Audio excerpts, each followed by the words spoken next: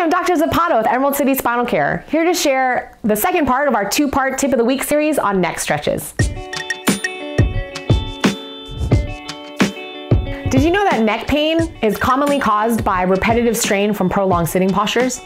And that regular stretching can help increase blood flow to areas of injury to increase mobility and healing. So I'm gonna show you two more stretches that you can do for your neck. The first one is going to be for your posterior cervicals, which are muscles along the back of your neck.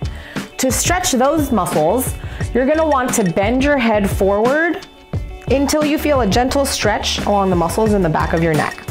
And hold this for 10 seconds.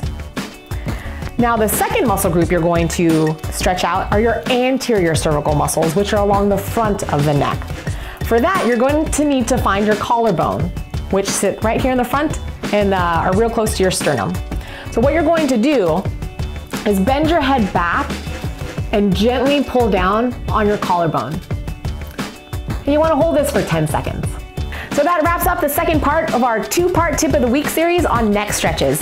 We hope you found them helpful. Try incorporating some of these stretches into your routine and let us know how it goes. Now for more original content, be sure to subscribe to our YouTube channel or follow us on Facebook. For everyone here at Emerald City Spinal Care, have an amazing week.